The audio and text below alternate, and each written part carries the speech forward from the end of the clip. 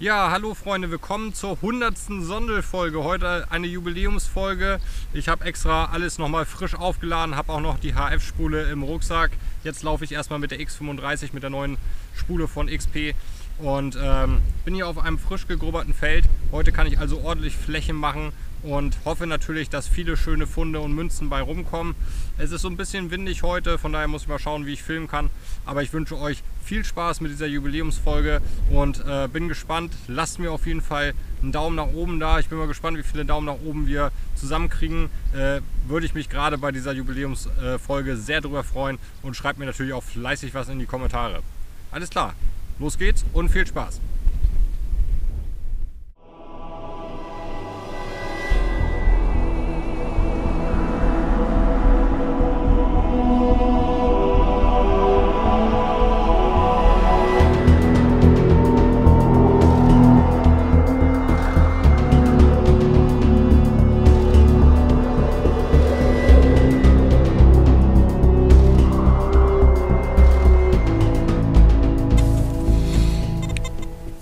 Ja, schaut mal. Das erste Fundstück ist hier ein ganz interessantes Bronzefragment.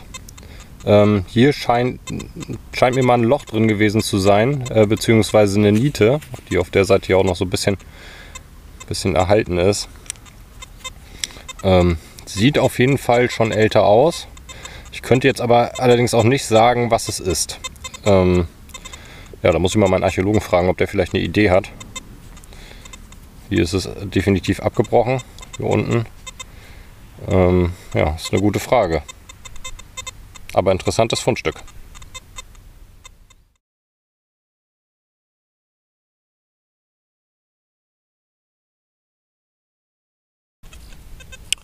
Ja, zweiter anständiger Fund ist ein Fragment von einem Arsenbronzeknopf. Oh, schaut mal, ich glaube die erste Münze hier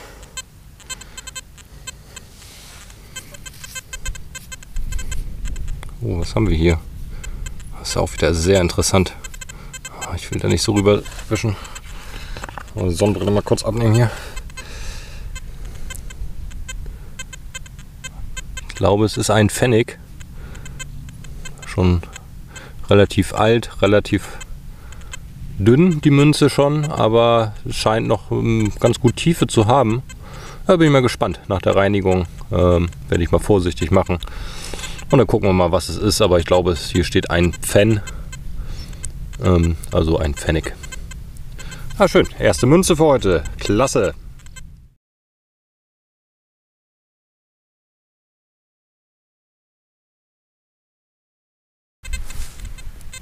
So, hier haben wir nochmal ein ganz schönes Signal.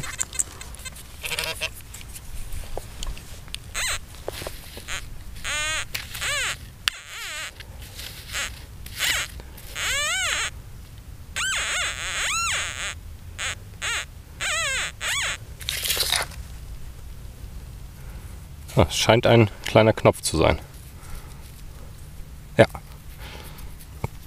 Der zweite Knopf, der erste komplette für heute. Auch ein interessanter Fund hier mitten auf dem Acker. Hier scheint irgendwer Golf gespielt zu haben. Das ist ja echt der Wahnsinn. mein erster Golfball.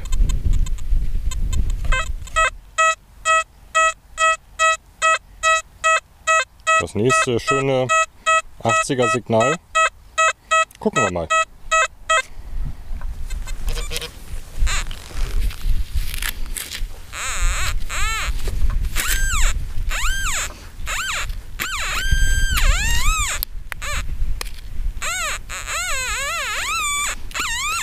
Ja, oh, ich glaube. Nee. War auch interessant. Sieht fast ein bisschen wie ein Abschlag aus. Ja.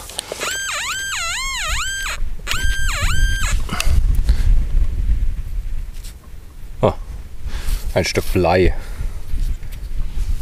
Oh, schaut mal hier in dem Loch. Ist die nächste Münze vielleicht? Ja. Ein Pfennig. 1840. Noch schön erhalten. Toll. Zweite Münze für heute.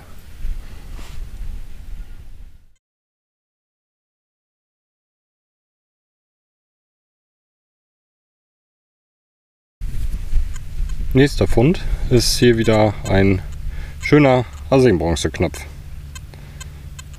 Öse fehlt, also nur die Platte. Ja, aber schön.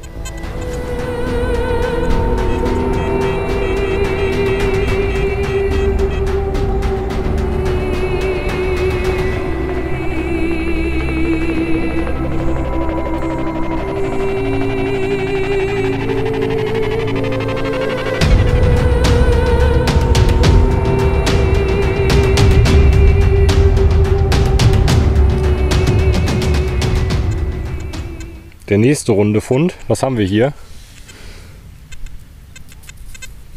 Ach, ein Schrotpatronenboden. ja, klasse.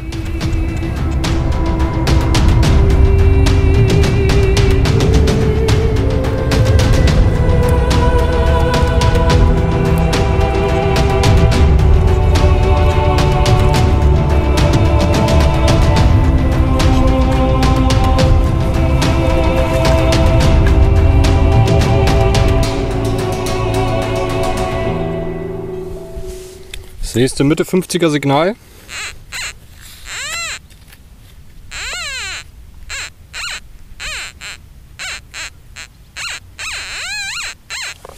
Ja, scheint wieder rund zu sein. Ja. Ich glaube, es ist eine Münze gewesen. Mal.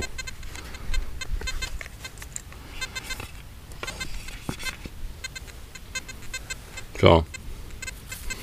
Sehr verkrustet. Naja, ist auf jeden Fall eine Münze. Aber da kann man jetzt so gar nichts mehr drauf erkennen. Da ist eine, auch eine dicke Kruste drauf. Ähm, ja, mal gucken nach der Reinigung, ob man da noch was drauf erkennt. Spitze, nächste Münze.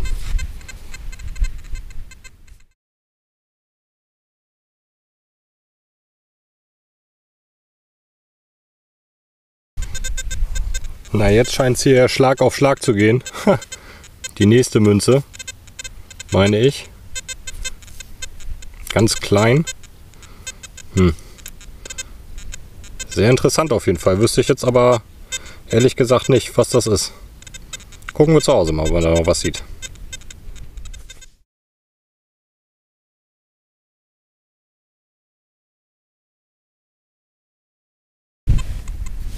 Noch ein Knopf. Habe jetzt schon einige in der Zwischenzeit gefunden, habe ich euch nicht alle gezeigt. Seht ihr nachher in der Zusammenfassung. Da liegt die nächste Münze. Ja, eine Pfennig-Scheidemünze. Mensch, klasse, was heute an Münzen kommt hier. Wahnsinn. Datum kann ich noch nicht erkennen.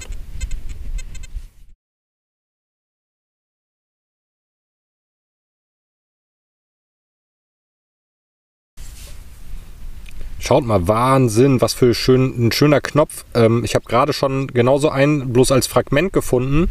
Dieser ist ganz, hier scheint mal eine, in der Mitte eine Emaille drin gewesen zu sein oder so. Ähm, ja, die Öse fehlt leider. Aber klasse, ey, sowas habe ich auch noch nie gefunden gehabt. Solche Knöpfe. Und jetzt gleich ein Fragment und noch einen kompletten. Bis hier auf einer Ecke, da fehlt so eine, ja, eine Öse. Spitzenmäßig. Sehr hübsch. Schaut mal. Übrigens, Entschuldigung, wenn ich viel aus der Ich-Perspektive filme heute. Ähm, es ist doch ziemlich windig und sonst hättet ihr extreme Windgeräusche. Ich äh, versuche das Mikrofon immer so ein bisschen mit dem Körper zu schützen. Schaut mal, ein Teil von einem Zielgürtel, Feuer vergoldet. Und äh, ja, da ist noch ordentlich Feuervergoldung auf jeden Fall vorhanden noch auf dem Stück. Klasse. Ja, jetzt fehlt nur noch die Goldmünze, ne? und die Silbermünze. Na, schauen wir mal weiter. Klasse.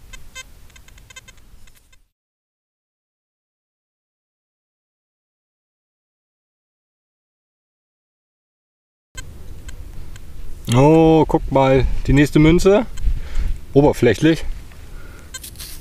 Ja. Oh, jetzt wird es wieder windig. Oh, ziemlich verkrustet.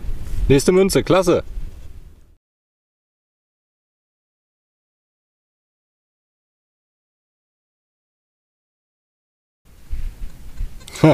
Ja, die nächste Münze oder der nächste Knopf. Ähm, hier hinten sieht es fast aus, als wenn da mal irgendwie eine Lötstelle war oder so. Deshalb bin ich mir da nicht sicher. Auch wieder stark verkrustet. Muss ich mal gucken, ob ich sauber kriege.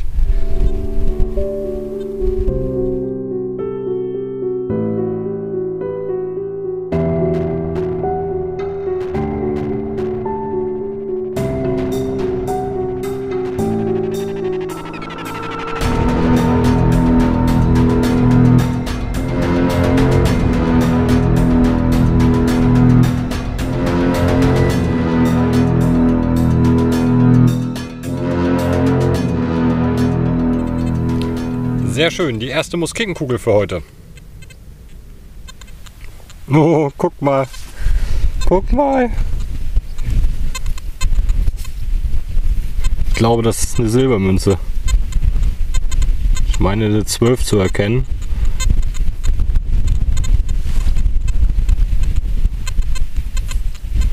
Ja, das ist definitiv eine Silbermünze. 1827.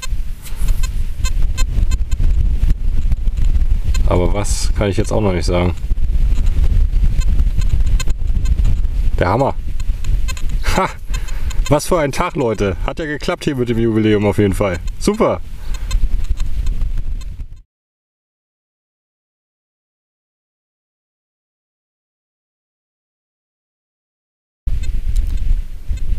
Ja, schaut mal Leute, ähm, ich habe hier so ein ganz kleines, ich schätze mal, es wird irgendwie von einem Beschlag der äh, Nietenkopf sein oder so, ähm, gefunden. Mit der X35-Spule. Ich laufe heute übrigens auf 16,4 Kilohertz, ähm, also noch nicht mal die höchste Einstellung von der Kilohertzzahl und trotzdem ist die Spule so kleinteilempfindlich, also richtig klasse. Wieder eine Münze, aber kann man auch wieder nur noch ganz schwer erkennen. Es ist ein bisschen Umschrift da noch vorhanden. In der Mitte kann ich jetzt so noch gar nichts erkennen. Ja, ist auch die Frage, welche Seite vorne und welche hinten ist. Hm, na, mal gucken, vielleicht geht da noch ein bisschen was. Aber hier ist schon wieder eine Münze. Also das ist ja heute echt der Wahnsinn. Äh, oh, hier ist auch schon voll. Muss jetzt schon die vierte Reihe im Coinpad anfangen. Hammer. Mal gucken, ob wir es noch voll kriegen.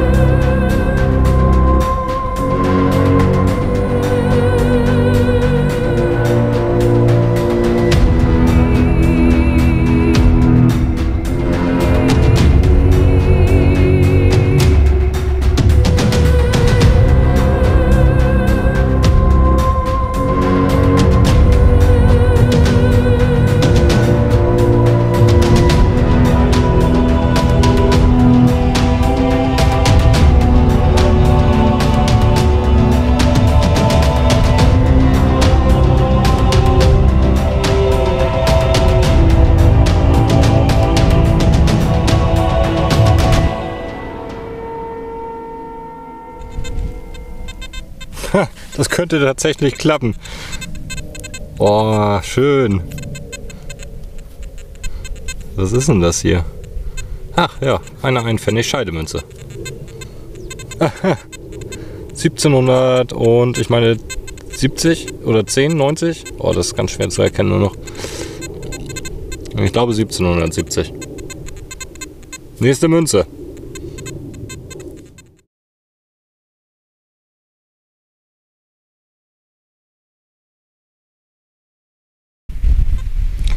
Tja, ist die 13 jetzt eine Glückszahl oder bringt sie Pech?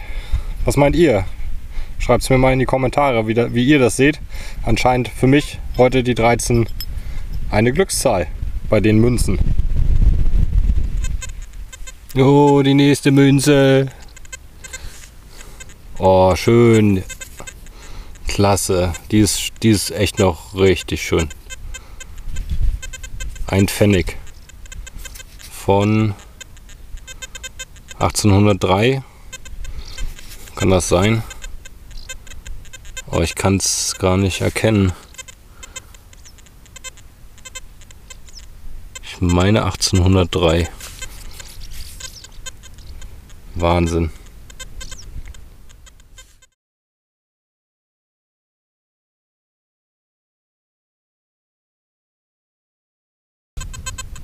Die nächste Münze. Oh, die sieht wieder so nach Silber aus. Nee, nee, nee. Das meine ich keine Silbermünze. Das ist wieder ein Pfennig.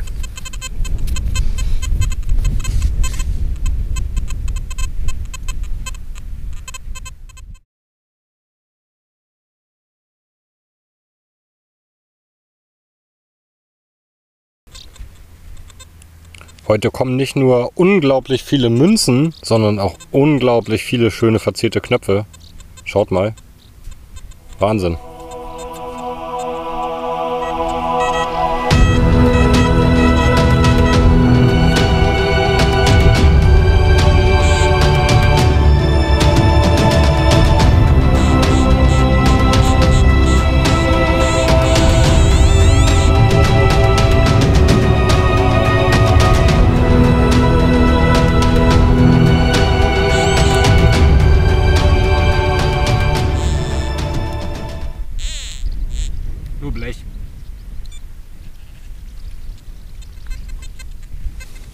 Schaut mal, die nächste Münze, und das ist wieder eine Silbermünze, ein Marienkroschen von 1700, ich glaube 77. Die nächste Silbermünze. Das ist ja der Wahnsinn. oh Mann, ey.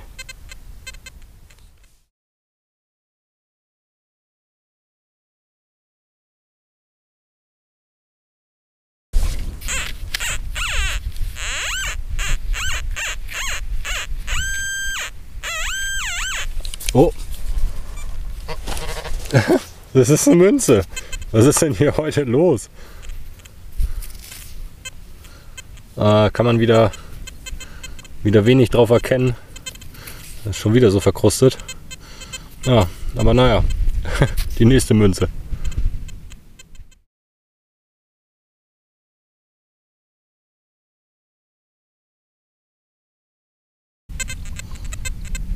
Ohne Quatsch, das kann doch langsam nicht mehr sein. Ich bin jetzt einmal um die Ecke gegangen, habe die nächste Bahn angefangen. Oh. Oh, die nächste Silbermünze und schaut mal. Oh, ist die toll. 24 Eintaler, 1839. Es kann nicht wahr sein. Das gibt's ja nicht, ey. Was für eine tolle Münze. Schaut mal. Die ist ja fast wie, als, als wenn sie gerade geprägt wurde. Königreich Hannover Scheidemünze. Oh. Äh. Ich glaube es nicht, Leute. Ich glaube es nicht. Was für ein hammergeiler Tag heute.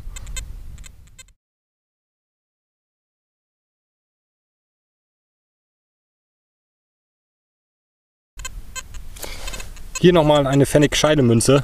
Leider auch wieder ziemlich verkrustet. Oh Mensch, oh Mann, ey. Was ein Münzregen.